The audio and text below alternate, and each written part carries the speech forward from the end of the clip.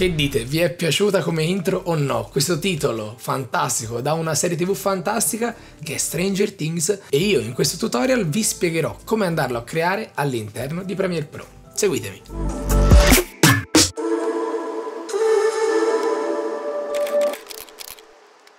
Eccoci ragazzi all'interno di Premiere Pro e come vedete c'è già il mio faccione qua, perché ora costruiremo insieme l'intro che utilizzerò per il video, anzi che ho utilizzato perché l'avete già vista. Quindi, prima cosa da fare, abbiamo la nostra base video che si intravederà sotto il titolo. Poi dobbiamo andare a creare un nuovo mascherino colorato, che noi lo faremo dello stesso livello della composizione, quindi 4K, lo faremo nero e lo chiameremo testo. Assicuratevi di avere il nuovo Premiere Pro, quello nuovissimo, il 2018 o anche il 2017, perché a noi serve questo strumento qui? Perché tra l'altro, oh, ora sì, lo strumento testo. Quando andremo a creare la nostra scritta vedrete che verrà appunto creato un nuovo livello figura, cosa che a noi non interessa, la cancelleremo dopo, ma per ora andiamo qua a fare il nostro testo, possiamo utilizzare qualsiasi font che vogliamo, io utilizzo il font che c'è ovviamente all'interno di Stranger Things ed è Banguyat Bold che trovate tranquillamente in download gratuito. Che poi è la stessa della mia maglietta del font dovrebbe essere questo font qua più o meno. Che scriviamo?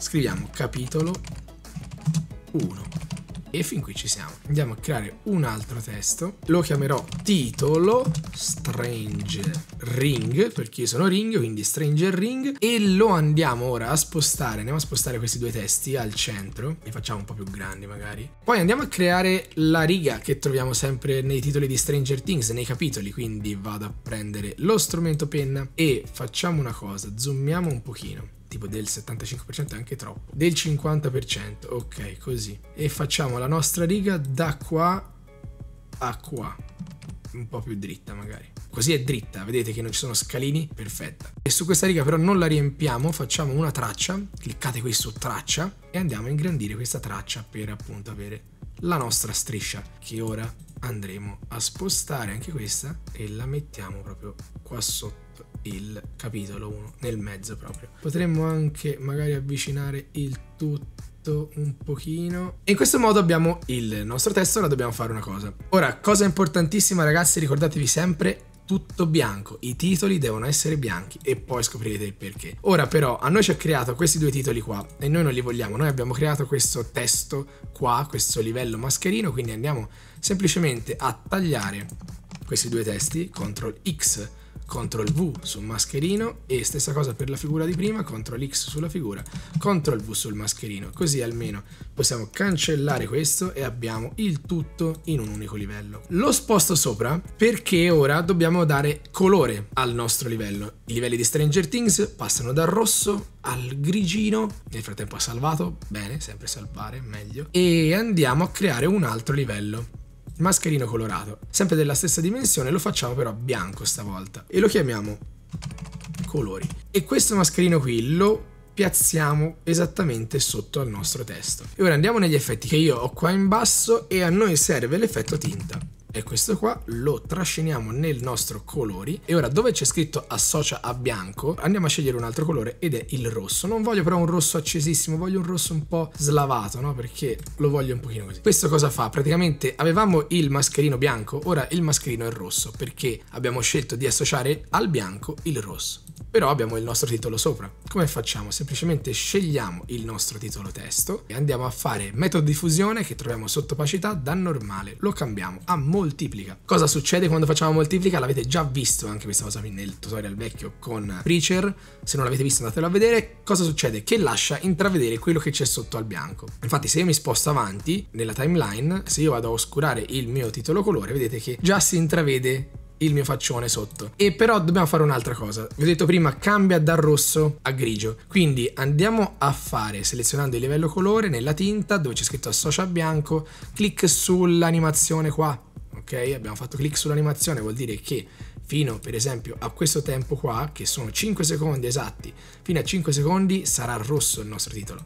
Però poi andiamo un po' più avanti, deve essere abbastanza veloce l'animazione, facciamo un secondo. A 6 secondi il rosso deve diventare un grigino chiaro. Ok, in questo modo. Mi crea un altro keyframe e vedete che se io faccio partire il video, da rosso diventa grigio. Ora dobbiamo nascondere questo livello, perché noi dobbiamo intravedere il livello sotto. Sempre utilizzando il livello colori andiamo dove c'è scritto opacità, che vedete qui è già a 100%, clicchiamo per aggiungere il keyframe, andiamo un po' più avanti e mettiamo 0. E ora che succede? Guardate, eh, da qui magari sposto un po' più avanti il grigino per non appunto sovrapporli, vedete che diventa da rosso a grigio e poi scompare.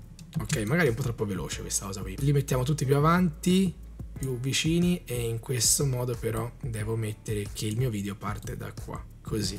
Quindi da rosso diventa grigio e poi diventa trasparente e parte il video sotto. Così mi interessa. Però dobbiamo ingrandire questo testo, dobbiamo ingrandire questo testo e entrare dentro in una delle lettere. È molto più facile di quanto pensiate e no, non bisogna toccare la scala perché se io tocco la scala guardate cosa succede, diventa un casino perché poi diventa enorme, guardate qua quanti pixel. Non andate a far casino con la scala. Quello che ci serve a noi ora è andare a utilizzare un altro effetto che si chiama qua sotto 3D di base. C'è un però. Ragazzi, non possiamo trascinarlo in questo livello qui, o almeno possiamo trascinarlo in questo livello qui, però se io vado a fare quello che devo fare, ovvero distanza dall'immagine, e la vado a rimpicciolire, tipo a meno 100, guardate cosa succede, che io vado a meno 100 però non è allineata la cosa e se io sposto la posizione qua per allinearmi nella posizione giusta succede un casino ancora di più, quindi non possiamo applicare questo filtro al nostro livello testo, ma c'è un escamotage. Facciamo il tasto destro qui su questo livello e andiamo qui a cliccare su nidifica. Questo qua e andiamo a crearlo appunto testo. Che succede? Ci crea un'altra composizione che troviamo qui in testo. Tra l'altro posso anche rinominare questa composizione qua e la rinominerò magari tutorial. E praticamente all'interno di questo livello c'è un'altra composizione che è questa qua. Ora qui possiamo ritornare su normale come metodo di opacità e qui possiamo mettere moltiplica per avere lo stesso effetto di prima. Ora possiamo però applicarci il nostro effetto 3D di base e posso, come detto prima, andare a cambiare la distanza dell'immagine a meno 100. E ora però è scomparso tutto perché appunto non siamo all'interno di una lettera. Vi faccio vedere un po' come funziona. Andiamo a creare un'animazione anche per questo e lo spostiamo alla fine del nostro livello perché noi vogliamo che sia alla fine del nostro livello. E poi ripristiniamo quindi a zero all'inizio. E vedete cosa succede? Guardate si ingrandisce si ingrandisce sempre di più e noi ci ritroviamo qua nel mezzo qua nel mezzo, cosa che non vogliamo assolutamente che succeda. Come facciamo ragazzi? Semplicemente andiamo dentro la nostra composizione di testo che abbiamo creato prima e andiamo a cliccare qua su punto di ancoraggio. Cosa fa la prospettiva di prima? Zoom e va su questa X qua e quindi noi non dobbiamo fare altro che spostare la nostra X sul punto dove vogliamo che avvenga lo zoom e in questo caso io voglio sulla R che è come un mirino, no? Dobbiamo puntare sul mirino. Infatti se io torno nel tutorial, allora guardate cosa succede, che io sono nella R. Eh? Ora però c'è un altro piccolo problema, che se io torno indietro il livello è spostato. Torno sul testo, faccio un'animazione, un keyframe per questa parte qui e la lascio in fondo e poi vado a creare un reset per questa animazione. Posso lasciarlo anche qui a metà, vediamo un po' cosa succede.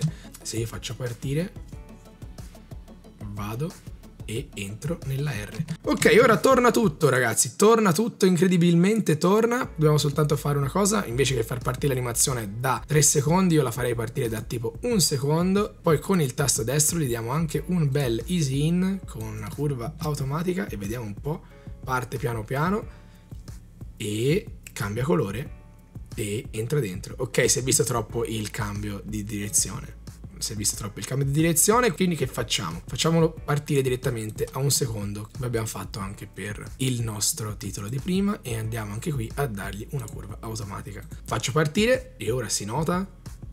Ok, meno, non si nota nemmeno ci spostiamo ed entriamo nella R ed eccomi lì che parlo. Quindi, che ve ne è parso? Difficile? Facile? Sono andato troppo veloce? Ok, forse sono andato un po' troppo veloce, ma Spero che vi sia piaciuto lo stesso, fatemi sapere se lo userete nei vostri video, se avete magari degli altri titoli in mente che volete sapere un po' come realizzare, lasciatemi un commento qua sotto e io cercherò di realizzare appunto un tutorial per voi. Io sono Niccolò, se vi è piaciuto il video lasciate un mi piace qua sotto, iscrivetevi al canale se non l'avete fatto, cliccate sulla campanellina e noi ragazzi ci vediamo al prossimo video. Ciao!